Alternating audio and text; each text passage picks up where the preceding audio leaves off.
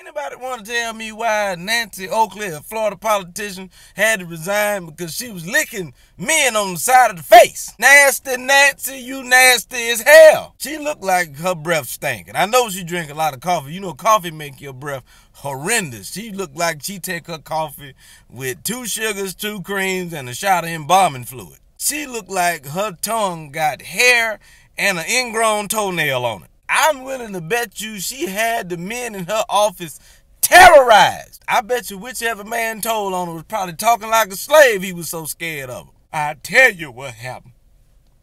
I comes in work just like I do every day. I sat down at my desk. Mind my business, I clear for Lord I do. Miss Nancy come up, come up behind me. Couldn't hear. She come and she come and lick me on side my face. Oh Lord.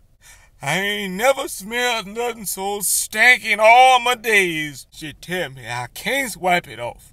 If I wipe it off, I lose my job. So when I comes home, I done something I swear I never do. My wife asked me why the side of my face smell like garbage truck juice and I looks her in the face and I lie. I tell her I fell down in some horse manure. That Nancy ain't nothing but the devil. That's why I was telling you what I telling you now. Only chance